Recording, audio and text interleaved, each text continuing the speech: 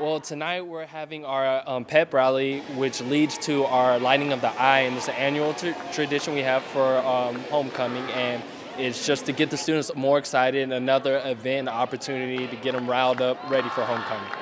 You know, homecoming is the week where I think current students, alumni, and prospective students are able to exude their school spirit uh, throughout the community, and I think that this this week is actually maybe one of the the, the, the, the times that Islanders are, are you know full blown out blue and green and, and actually bleeding blue and green. So I, I love this week.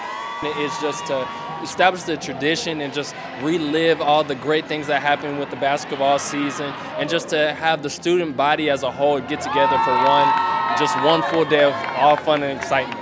I think my favorite part would have to be the lighting of the I. Everyone gets to come together and the fire. It's really, it's really cool besides the game, everything leading up to the game is probably my favorite part. There's no, there's not like a specific moment I can point out because it's just, it's just a great feeling the whole week.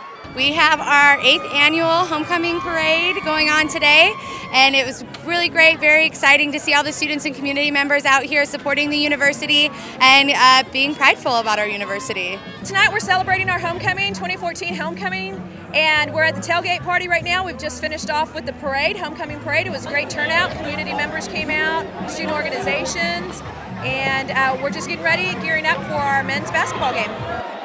It's important for the community to come out because it just brings ties the university together with the community and brings us all together as one community instead of two separate communities. So we get to come together and celebrate Islander pride.